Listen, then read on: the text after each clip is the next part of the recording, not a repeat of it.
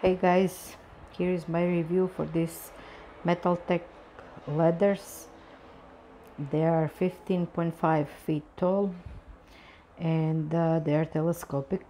As you can see we are installing a moss wall here and this wall is high uh, 10 feet. So we are not using not even half. Uh, they're totally adjustable.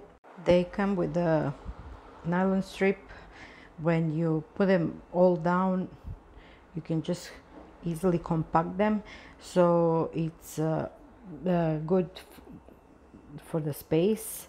You don't use too much space. Uh, you can easily put it in a cart uh, for transportation. It's perfect.